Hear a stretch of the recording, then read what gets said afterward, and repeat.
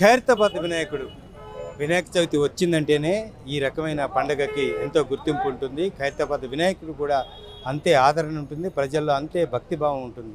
ఇక ఈరోజు తుది మెరుగులు దిద్దుకున్న ఖైరతాబాద్ వినాయకుడు ఈరోజు కంటిని కూడా ఏర్పాటు చేసే పరిస్థితిలో ఉన్నారు.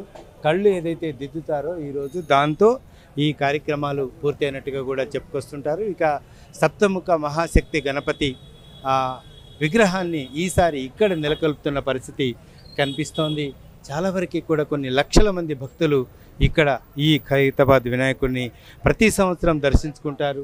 ఇక ప్రత్యక్షంగా దర్శించుకోవడమే కాకుండా ఆన్లైన్లో కూడా ఈ దర్శన ఏర్పాట్లని ఇక్కడ నిర్వాహకులు గణేష్ ఉత్సవ కమిటీ వాళ్ళు చేస్తున్న పరిస్థితి అయితే మనం గత కొన్నేళ్ళుగా చూస్తున్నాం. భారీ వినాయకుడు సుమారు యాభై ఏడు అడుగుల విగ్రహం ఈసారి ఇక్కడ నెలకొల్పిన పరిస్థితి కనిపిస్తోంది. పెద్ద ఎత్తున భక్తులు వస్తారు.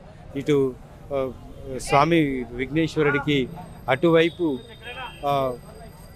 అటువైపు రాముడు సీత అట్లాగే ఇటువైపు కూడా శివుడు శివపార్వతులను పెట్టి ఏర్పాటు చేస్తున్న పరిస్థితి కనిపిస్తోంది. ఇక డె- డెబ్బైవ ఇది సెవెంటీన్త్ ఇయర్ కాబట్టి సెలబ్రేషన్స్ కూడా ఆ అంతే స్థాయిలో నిర్వహించేందుకు కూడా ఏర్పాటు చేస్తున్న పరిస్థితి కనిపిస్తోంది. శ్రీ సప్తముఖి మహాశక్తి గణపతిగా ఈసారి దీనికి నామకరణం చేసిన పరిస్థితి కనిపిస్తోంది.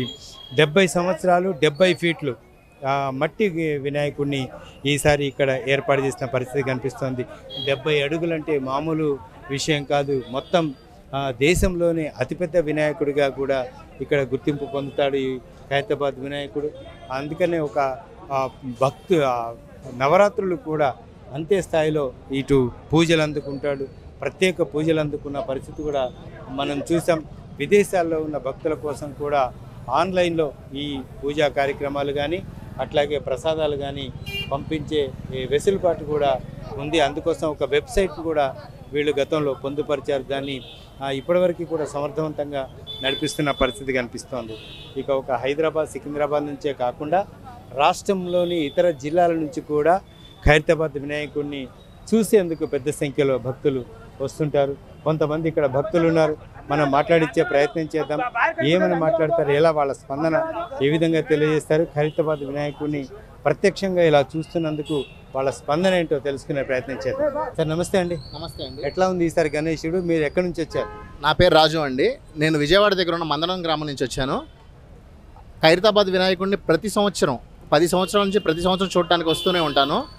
ఈ సంవత్సరం చాలా పెద్దగా ఇంకా ఎవ్రీ ఎవ్రీ ఇయర్ కన్నా చాలా పెద్దగా ప్లాన్ చేశారని తెలిసింది.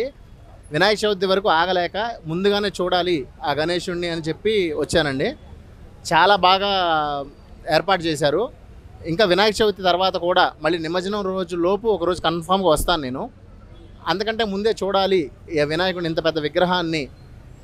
ఈ రెండు రాష్ట్రాల్లో తెలుగు రెండు రాష్ట్రాల్లోనే ఇంత పెద్ద వినాయకుడు ఎక్కడా లేడు. అంత పెద్ద వినాయకుడిని ఇక్కడ పెట్టి పూజించడం అనేది చాలా గొప్ప విషయం. నాకు చాలా ఆనందంగా ఉంది. చూసినందుకు కూడా చాలా ఆనందంగా ఉంది. ప్రతి సంవత్సరం వస్తుంటారా? పూజలో పాల్గొంటారా? పూజలో పాల్గొన్ను. బట్ కానీ కన్ఫామ్గా వస్తాను. ప్రతి సంవత్సరం వస్తాను. స్వామివారిని దర్శించుకుంటాను.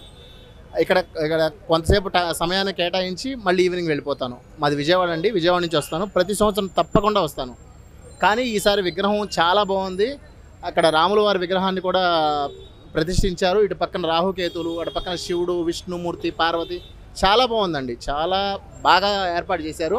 మళ్ళీ తప్పకుండా మళ్ళీ ఈ నవరాత్రుల లోపల మళ్ళీ తప్పకుండా వచ్చి ఒకసారి దర్శించుకుంటాను థ్యాంక్ యూ చాలా బాగా అనిపిస్తున్నది. బాలనగర్ నుంచి. ప్రతిసారి వస్తామండి. పిల్లలను పూజలు అప్పుడు వస్తాం పిల్లలను తీసుకొని వస్తాను. ముందు కూడా వచ్చిపోతాను ఇట్లానే ఎప్పుడు.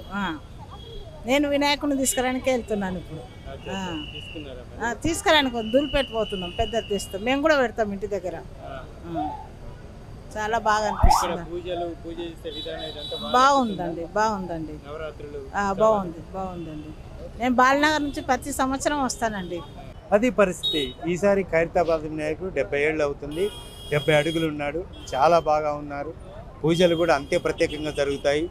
ఎక్కడెక్కడి నుంచో వచ్చి ఈ పూజలను కానీ ఈ కార్యక్రమం కానీ పాల్గొనడం ఆనవాయితీగా వస్తుందని చాలామంది ఇక్కడ చెప్పుకొస్తున్న పరిస్థితి కనిపిస్తుంది. ఇక ఏడో తారీఖు నుంచి ఈ ప్రత్యేక పూజా కార్యక్రమాలు భక్తుల దర్శనం యథావిధిగా కొనసాగే అవకాశాలు ఉన్నట్టు కూడా నిర్వాహకులు చెప్పుకొస్తున్న పరిస్థితి కనిపిస్తోంది.